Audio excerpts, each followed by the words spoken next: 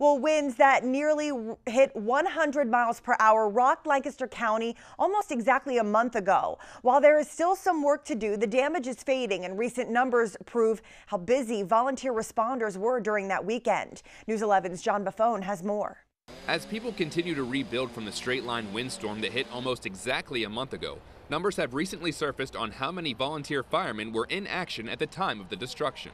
At the Clay Township Supervisors meeting this month, numbers were presented that showed approximately 100 firefighters from six local companies put in approximately 2,500 man hours during that weekend, despite the fact that some of them had damage to their own homes and properties.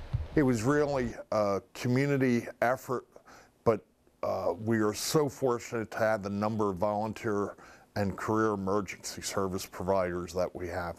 Though there is still some work to do, scenes like this were much different a month ago, with volunteers working around the clock to clear the roadways of trees and debris. We had trees and electric lines down in areas, and they had not heard from the residents in those areas. And some of the volunteer firefighters uh, walked over half a mile to get into some of those areas to make sure that the people were safe. In addition to the firefighters, there were numerous groups and businesses that donated food, equipment, and services to speed up the rebuilding process. Lancaster County still has a strong community spirit.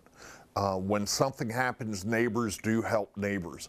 I'm not sure that you have that anymore in some of the larger metropolitan areas in the state and the nation. But here in Lancaster County, if we would put out a call for 100 volunteers, I'm sure we could get 500 volunteers if, if need be. In Manheim, John Buffone, News 11.